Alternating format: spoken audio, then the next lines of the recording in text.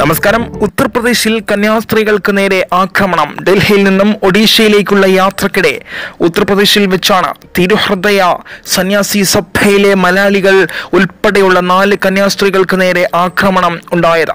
മതം മാറ്റാൻ ശ്രമിക്കുകയാണെന്നാരോപിച്ച ബജ്രംഗ് ദൾ പ്രവർത്തകരാണ് ആക്രമണം നടത്തിയത്.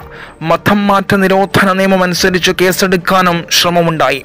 സന്യാസ പഠനം നടത്തുന്ന ഒഡീഷയിൽ നിന്നുള്ള രണ്ടു പേരെ വീട്ടിലാക്കാനുള്ള യാത്രക്കിടെയാണ് ആക്രമണം ഉണ്ടായത്. അടുത്തിടെയാണ് ഇവർ പഠനത്തിന് ചേർന്നത്. പഠിക്കാൻ തുടങ്ങിയതിനു ശേഷം ഇത് ആദ്യമായാണ് അവർ വീട്ടിലേക്ക് പോകുന്നത്. ഇവർക്കൊപ്പം മറ്റു രണ്ട് കന്യാസ്ത്രീകളും ഉണ്ടായിരുന്നു. ട്രെയിനിലായിരുന്നു യാത്ര. പഠനം നടത്തുന്നവർ ആയതുകൊണ്ട് തന്നെ രണ്ടു പേർ തിരുവസ്ത്രം ധരിച്ചിരുന്നില്ല. ഇവരെ മതം മാറ്റാൻ കൊണ്ടുപോകുകയാണ് എന്നാരോപിച്ചായിരുന്നു ആക്രമണം നടത്തിയത്. ട്രെയിനിൽ കയറിയ ബജ്രംഗ് ദൾ പ്രവർത്തകർ ട്രെയിനിൽ വെച്ച് തന്നെ പ്രശ്നങ്ങൾ ഉണ്ടാക്കിയിരുന്നു. മതം മാറ്റ നിരോധന നിയമം അനുസരിച്ച് കേസെടുക്കാനും ശ്രമമുണ്ടായി. നിർബന്ധിച്ച് മതം മാറ്റാൻ ശ്രമം നടക്കുകയാണെന്നും പഠിതാക്കളെ തട്ടിക്കൊണ്ടുപോകുകയാണെന്നും ഇവർ റെയിൽവേ പോലീസിനെ അറിയിച്ചിരുന്നു. തുടർന്ന് കന്യാസ്ത്രീകളെ കസ്റ്റഡിയിൽ എടുത്തു.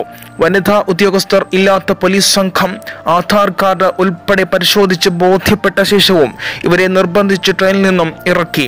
പോലീസ് സ്റ്റേഷനിലേക്ക് കൊണ്ടുപോയെന്നും വ്യക്തമാക്കുന്നു. നൂറിലേറെ വരുന്ന ബജ്രംഗ് ദൾ പ്രവർത്തകർ മുദ്രാവാക്യം മുഴക്കി ഇവരെ അനുഗമിച്ചു. അഭിഭാഷകർ എത്തി രാത്രി പതിനൊന്ന് മുപ്പതോടു കൂടിയാണ് ഇവരെ മോചിപ്പിച്ചത്. സംഭവത്തെ അപലപിച്ച് കെ സി ബി സി രംഗത്തെത്തി. സംസ്ഥാന സർക്കാരും ദേശീയ മനുഷ്യാവകാശ കമ്മീഷനും ഇടപെടണമെന്ന് ആവശ്യപ്പെട്ടു. ഭരണഘടന ഉറപ്പു നൽകുന്ന പൗരാവകാശം ചോദ്യം ചെയ്യപ്പെടുന്ന സംഭവമെന്നും കെ പ്രതികരിച്ചു. News desk.